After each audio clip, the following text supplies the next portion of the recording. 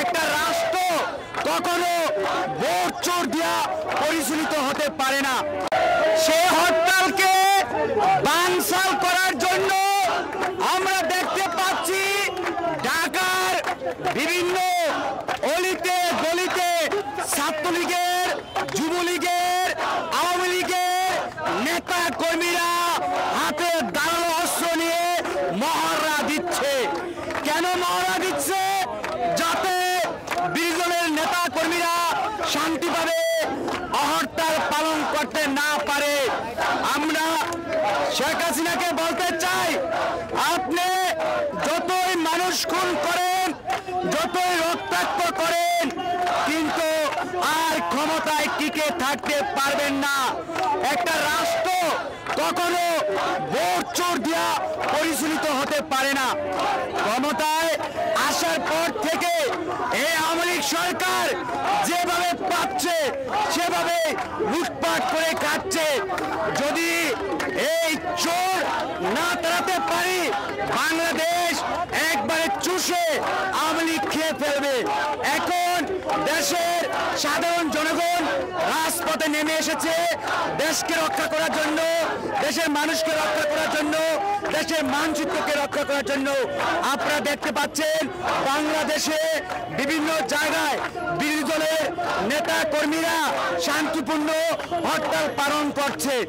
এই হরতাল পালন করতে করার পর কেউ বাসা বাড়িতে শান্তিতে ঘুমাতে পারছে না। রাতে তাদেরকে বাসা থেকে তুলে নেওয়া হচ্ছে, গুম করা হচ্ছে, খুন করা হচ্ছে। তারপরও দেশের মানুষের মুক্তির জন্য আমরা রাজপথে আছি। আমাদের যদি জীবন দিতে হয়, আমরা রাজপথে জীবন দিব। আপনাদেরকে বলতে চাই, এই যে আজকে বিপিনুরের নেতৃত্বে ঢাকাতে হরতাল পালন করা হচ্ছে।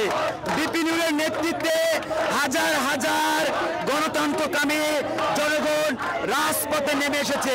আমাদেরকে পুলিশ বাধা দিয়েছে, বিজিবি বাধা দিয়েছে, র্যাব বাধা দিয়েছে।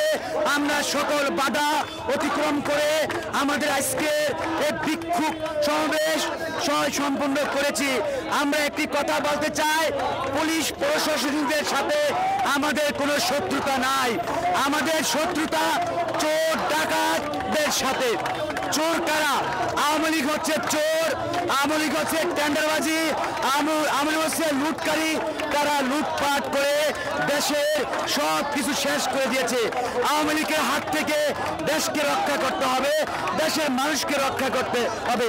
একটি কথা এই স্পষ্টভাবে ক্লিয়ার করে বলে দিতে চাচ্ছি আঠাইশ তারিখের পর থেকে এখনও বাসা বাড়িতে যে ঘুমাতে পারছি না। ডিজিএফআই খুঁজে খুঁজে, পুলিশ খুঁজে, তার মধ্য দিয়েও রাজপথে এসে আন্দোলন সংগ্রাম করছি।